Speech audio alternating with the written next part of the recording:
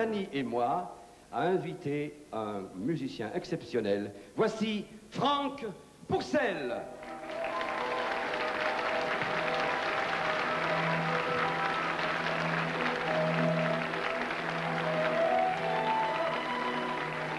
Bonjour. Bonsoir Franck. Bonsoir. Oh, quelle jolie musique, c'est vous là derrière a- Euh, Oui, c'est un- le dernier disque que j'ai enregistré. On en parlera tout à l'heure. Oui, oui. Euh, vous avez fait mon voyage. Très bon, merci. Vous êtes venu comment Par le train Par la route? Non, par la route. C'était bien, il n'y avait pas beaucoup de circulation. Vous roulez vite? Pardon? Vous roulez vite? Ça dépend pour qui. oui. Et pour venir ici, vous avez roulé vite, non? Euh, non, parce qu'il y a la police. hein. Ah oui, oui, il y a les petits radars qui se cachent. Franck Pourcel.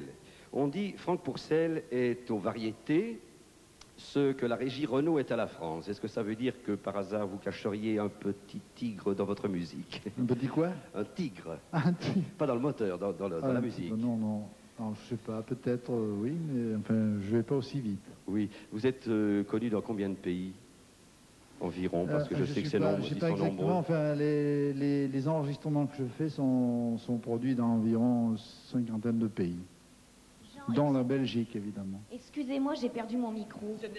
Ce sont des choses qui arrivent. euh, Peut-être que Franck euh, l'a. Voulez-vous le mien Ben, je voulais vous parler un petit peu. Je voulais vous poser une question à la Jean Vallée. Je voulais vous demander, Franck Pourcel, Franck, pourquoi Ah, Franck, pourquoi Oui, on me disait lorsque j'étais jeune que c'était un nom de chien, parce qu'à cette époque, il n'y avait pas beaucoup de Franck.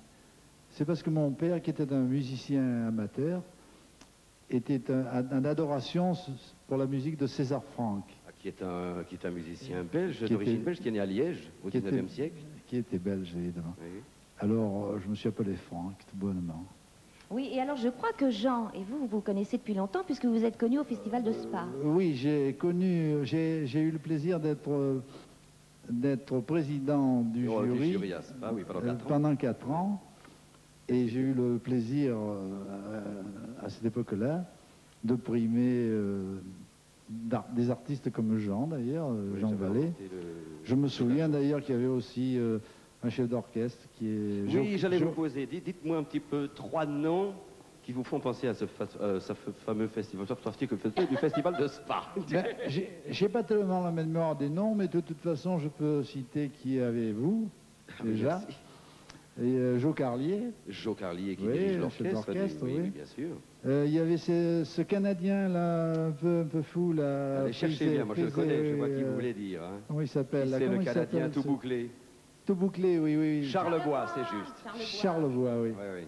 D'ailleurs, il y a euh, de grands artistes qui sont sortis de ce festival. Franck, on, on fait chaque année à la GACAN un cadeau somptueux. On lui donne son poids en or. Ah oui, je oui. sais que vous, on vous a un jour fait le même cadeau, mais Ah c'était oui, pas de l'or. on m'a donné, mon poids en fromage. C'était duquel fromage Vous vous rappelez du nom? C'est le seul fromage belge, je crois. C'était un fromage belge d'ailleurs, Le fromage de Herve. et ça sentait mauvais d'ailleurs. Euh, Pensez-vous qu'un bon artiste soit un artiste discret? Ah, ben, ça dépend. Il y a des artistes qui sont pas discrets. Moi, je suis des distraits. Moi, je suis un peu distrait, je dirais. Je sais. C'est bien pour ça que je vous pose la question. Oui, mais il y en a que non. Il y en a que, je sais pas, vous, vous êtes euh, un peu distrait aussi. Je suis discret et timide. Vous êtes timide aussi Je suis très. C'est vrai Ouais, ouais. On a joué une partie de boule tout à l'heure, vous n'y étiez pas du tout. hein Ah, mais au, au boule, ça va. Mais là, il ne faisait pas sur la scène. Ah oui, c'est vrai. Euh, Vous avez mis la musique classique à la portée de toutes les bourses. Est-ce que vous croyez que c'est important de faire descendre la musique classique dans la rue? Ah, très, important. Un petit peu comme Brassens a chanté les poètes. euh, J'ai pas avez- fait, euh, j'ai pas fait descendre à, à porter toutes les bourses parce que c'est pas moi qui, qui fait le prix, n'est-ce pas? C'est les compagnies de disques. Mais je pense que j'ai j'ai fait descendre un petit peu, un petit peu, je dis modestement, pour l'entendement de tout le monde, une espèce de passeport pour le classique. somme toute. Oui.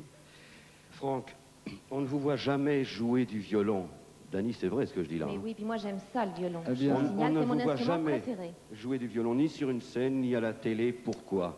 Bien, c'est-à-dire que j'ai appris le violon, évidemment, c'était mon instrument. Je voulais Oui. être concertiste. Enfin, mes parents voulaient que je fasse le concertiste, mais malheureusement, euh, j'ai fait un musicien comme euh, beaucoup, n'est-ce pas? Mais euh, j'ai abandonné après le violon parce que j'ai commencé à faire avec l'orchestre, les arrangements, tout ça. Euh, Et il est évident que j'ai un petit peu abandonné le violon. De temps en temps, chez moi, je joue un petit peu. euh, ou alors quand je vais, à- au, comme vous disiez, au Japon, euh, souvent quand je bats la mesure, comme ça, 1, 2, 3, 4, 1, 2, 3. Oui, Franck. Les gens me disent, mais alors, dites-moi, vous, Oui, vous, ne, vous ne jouez rien du tout vous mais- Alors je dis, bon, ben écoutez, alors une, une, une année, j'ai pris le violon, comme ça, puis j'ai joué. euh. Franck, Mm. on vous, on vous a pas fait une petite surprise, mais une grosse vacherie. Ah bon Je vous ai apporté un violon. Ah bon, c'est pour ça qu'on un m'avait fait archer. venir. Ah ben bravo Ah ben merci Ah, Je me souviendrai alors. C'est super. Voilà, ah, ah ben, ah ben, très bien, s'il n'y a que ça, ça va. Oh non, mais écoutez, vraiment... euh, Allez, je prends votre micro et vous êtes Alors, je vais vous obligé. Je ne sais pas, écoutez, alors là, je, je vous retiens là. hein, Oui, si vous voulez. Qu'est-ce que je lui fais Mais euh, ce qui me ferait énormément plaisir, je me rappelle, je pense que ça doit être un de vos premiers succès. Ça s'appelait Blue Tango et j'écoutais ça chez moi sur, des, ah, sur des disques 78 tours.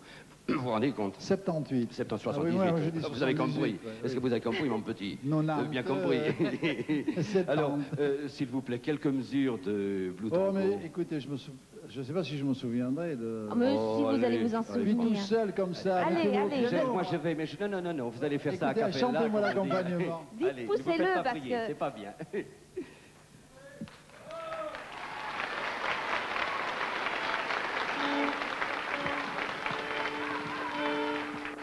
Il- Il faut que je m'accorde. attendez, Je vous en prie.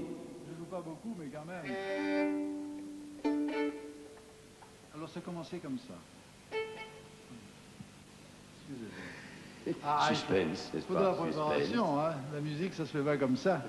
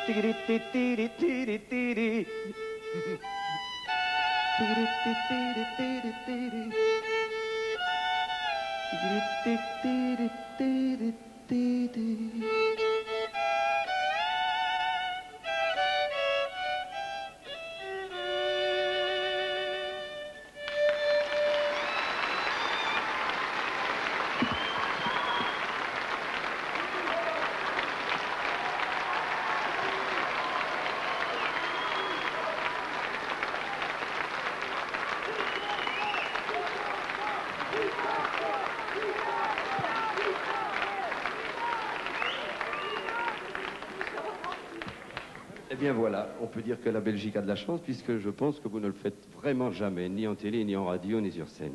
Franck, vous venez de, vous en avez parlé tout à l'heure, vous venez de sortir un tout nouvel album qui va, enfin je vais vous passer le mien si vous voulez. Euh, euh, vous venez de sortir un tout nouvel album qui va euh, consacrer le 35e anniversaire du Festival de Cannes. De quoi s'agit-il exactement? Eh bien, le Festival euh, international de Cannes, qui fête son 35e anniversaire au mois de mai, m'a demandé il y, a, il y a six mois, n'est-ce pas, de faire une espèce de rétrospective des chansons, des, des musiques euh, qu'il y a eu dans les films qui ont obtenu la Palme d'Or euh, au cours de ces 35 euh, années. Évidemment, je n'ai pas fait 35 chansons parce qu'il n'y en avait pas, mais Alors, euh, j'en ai choisi une dizaine qui va de Mais je vois le troisième homme qui va du troisième homme jusqu'au jusqu'à All That Jazz, qui était Qui que le spectacle commence, qui était, euh, qui Hein, était en c'était- 80. qui était en 80, c'est Oui. ça. Et alors évidemment, sur cet album, on retrouve les merveilleux parapluies de Cherbourg Oui, évidemment. Hein Et puis et Orfeo Negro aussi. Orfeo Negro, on trouve euh, la Dolce Vita, La Dolce Vita. la Loi du Seigneur avec Gary Cooper. Mais Enfin, c'est de- c'est pas Gary Cooper qui chantait, évidemment. Oui. Est-ce que dans les années qui suivront, vous, vous ferez d'autres albums avec tous ceux qui ne sont pas dans celui-ci? Eh bien, ça, on verra, je sais pas. Vous ne savez pas? Non. J'espère que vous le Je ferez. sais parce pas ce que, je c'est- ferai. Parce qu'il y a beaucoup de belles musiques de films que Oui, vous c'est pourriez vrai. Remarquez que euh, j'aurais pu faire. Il y a beaucoup d'autres musiques de films qui ont fait beaucoup Oui. de succès, qui n'ont pas eu, que ces films n'ont pas eu la Palme d'Or. Oui. En fait, j'étais tenu de faire des musiques, des films qui ont, qui ont eu la Palme d'Or. Maintenant, Franck, je vais vous demander de rester près de moi, là. Avec plaisir, oui. Parce que nous allons accueillir notre dernier invité. Et pour ça, j'ai besoin de mon partenaire. Alors, je vais vous laisser deux secondes, mais je reviens tout de suite après. Avec plaisir. Au revoir, Dani.